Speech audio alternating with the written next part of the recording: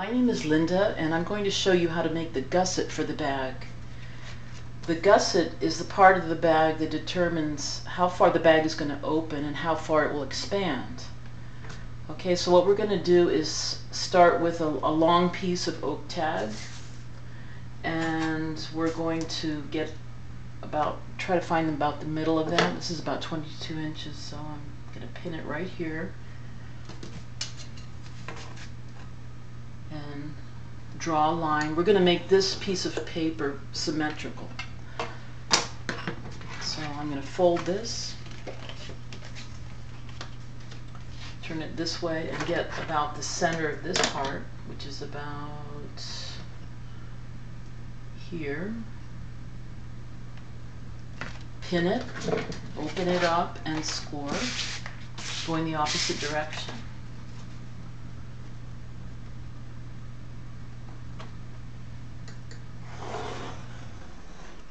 Oops. Okay. You fold it. Okay. So at this point, what we're going to do is try to determine the length of our gusset. And in order to do that, we have to take our front and back master pattern, fold it in a half, and take, this is the middle notch here, and right here is the center of, of this gusset. And you line that up and put your finger there and hold your awl down while you swing the pattern over and line it up. You actually start from right there, from the flattest part.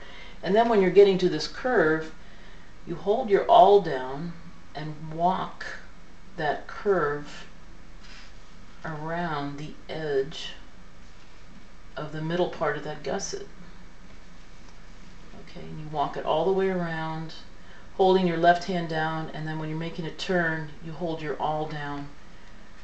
And then when you get to your the flat part, you're at the end of where the gusset will be. Okay? And so you pin it right there. You can actually do the other part too, so that you'll be able to cut it straight across. Okay? Fold this in half. Okay, and now you can cut right there. Now we'll have the length of the gusset. First you're getting the length of your gusset, and now what you're doing is getting, working with the, width, the width of how wide it is. So I decided I wanted it to be four inches on the bottom and about three inch and three inches on the top. So because we're working in a, a double, you don't have to, you can just measure two inches over here. Okay, and I pin it. Well, actually, on the bottom, I'm sorry. So I'll get the actual bottom of the pattern has two inches. And on the top, since it's going to be three, I just go down one and a half inches from this part.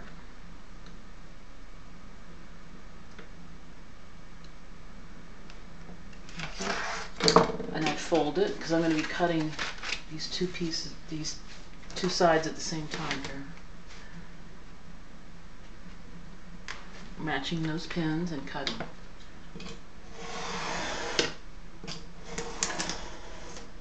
Okay and since it's the same it's going to be symmetrical so I can just fold this over and pin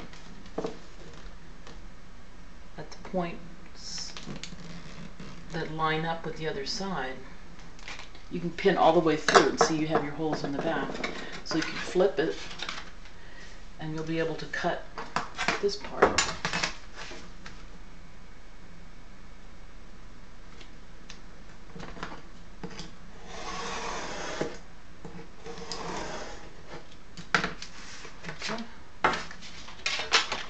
So that's your, your master gusset. And you can also check your measurement to make sure it's correct by walking it again. It just doesn't take very long. You just kind of line it up.